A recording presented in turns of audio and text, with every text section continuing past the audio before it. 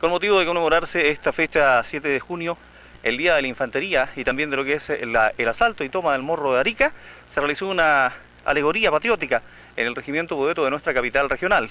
al cual fue convocado el comandante en jefe de la quinta edición de Ejército. Del significado que para el Ejército de Chile reviste esta epopeya, precisamente donde en 55 minutos se tomó el Morro de Arica, lo conversamos con el máximo representante del Ejército de Chile en nuestra región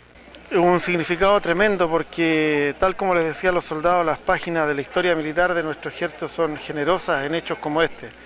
Y este muy en particular, eh, que implicó una,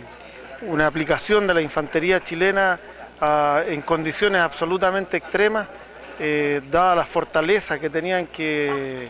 derrotar, eh, hizo que ellos extremaran al máximo todas sus capacidades y allí quedó plasmado entonces el temple y el coraje del soldado chileno y que marcó, por cierto, un hito muy referente en nuestra historia. Por eso recordarlo hoy día eh, nos llena de emoción y, nos hace sentir el orgullo tremendo que implica eh, llevar a la altura de nuestro corazón eh, el logo de nuestro querido ejército.